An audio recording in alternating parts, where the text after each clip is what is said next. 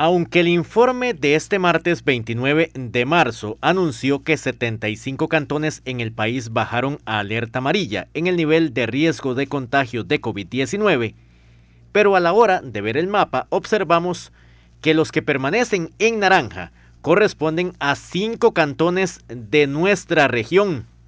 De acuerdo con los datos de la Sala de Análisis de Situación Nacional, siete cantones mantienen un nivel alto de riesgo de contagio del nuevo SARS-CoV-2. Dota, Alvarado, fuera de la región Brunca, y de ahí Pérez Celedón, Buenos Aires, Osa, Golfito y corredores del sur del país. La permanencia en naranja radica en que en nuestra zona la tasa hospitalaria se mantiene alta.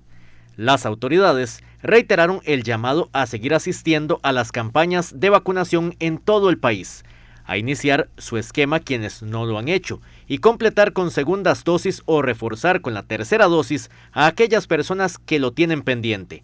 Para tales efectos, el país dispone de la suficiente cantidad de dosis tanto pediátricas como para el resto de la población para que se vacunen contra el nuevo coronavirus.